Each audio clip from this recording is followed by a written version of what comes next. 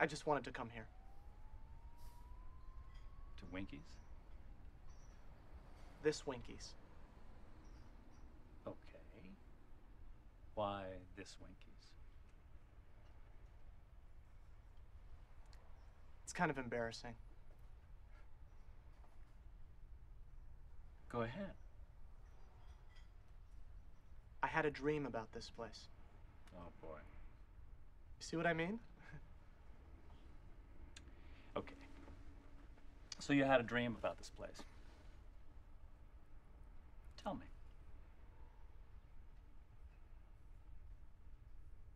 Well, it's the second one I've had. But they're both the same. They start out that I'm in here, but it's not day or night. It's kind of half night, you know? But it looks just like this, except for the light. And I'm scared like I can't tell you. Of all people, you're standing right over there.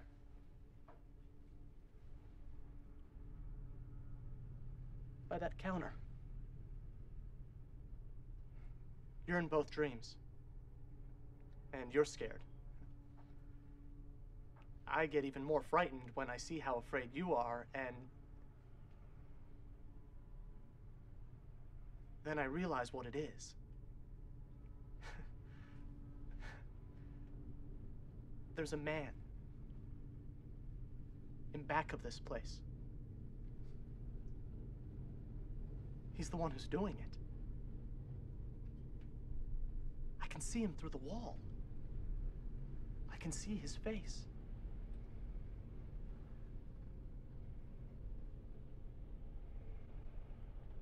Hope that I never see that face ever outside of a dream.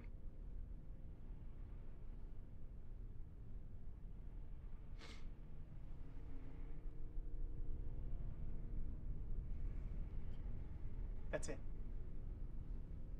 So, you came to see if he's out there. To get rid of this god awful feeling. Right then.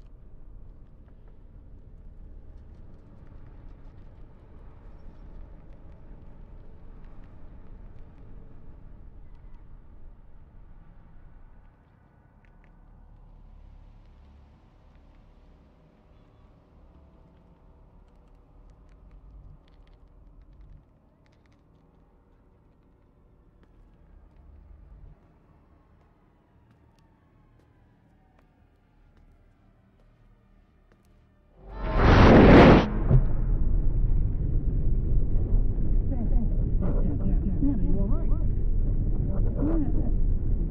Mm. mm.